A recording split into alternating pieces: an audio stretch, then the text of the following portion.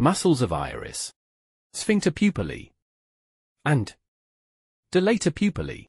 Today, we'll be diving into a fascinating and essential part of the human eye, specifically, the muscles of the iris.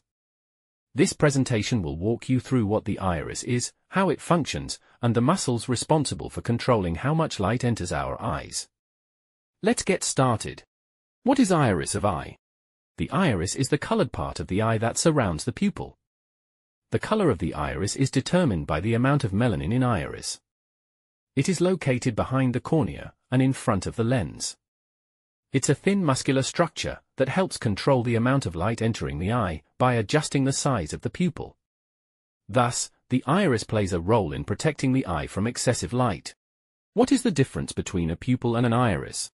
The iris is the colored part of the eye that surrounds the pupil. The pupil is the dark, circular opening in the center of the iris. It's not a structure itself, but rather a hole through which light passes into the eye. The iris contains muscles that control the size of the pupil. These muscles constrict or dilate the pupil to control the amount of light that enters the eye. Now we will discuss the main topic. The muscles of iris. The iris contains two types of muscles that control the size of the pupil. The sphincter pupillae and the dilator pupillae.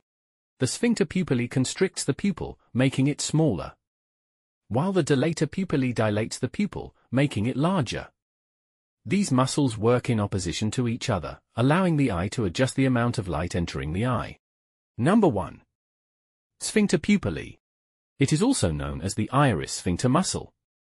This muscle is a ring of smooth muscle fibers located at the margins of the pupil. It is under the control of the parasympathetic nervous system. When the sphincter pupillae contracts, it constricts the pupil, causing miosis, thus reducing the amount of light entering the eye. This happens in bright light and during accommodation.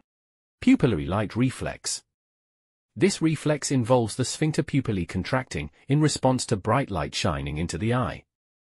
This reduces the amount of light entering the eye. Accommodation. During accommodation, the eyes focus on nearby objects, and the sphincter pupillae helps regulate the amount of light entering the eye. Number 2. Dilator pupillae. It is also known as the iris dilator muscle, or radial muscle of iris. This muscle is made up of radial muscle fibers that extend outward from the pupil. The smooth muscle fibers are specifically arranged radially like the spokes of a wheel. It is under the control of the sympathetic nervous system. When the dilator pupillae contracts, it dilates the pupil, causing mydriasis, thus allowing more light to enter the eye. This happens in dim light. And during sympathetic stimulation, like the fight or flight response. Dim light. When the dilator pupillae muscle contracts, it pulls the iris outward, increasing the pupil's diameter.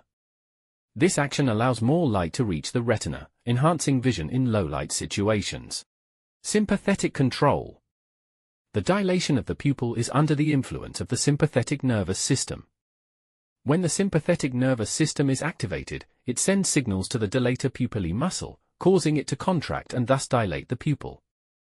And that wraps up our overview of the muscles of the iris. Understanding these muscles gives us a better appreciation for how our eyes constantly adapt to the light around us, protecting our vision and enhancing our ability to see in different environments. Thank you for your attention.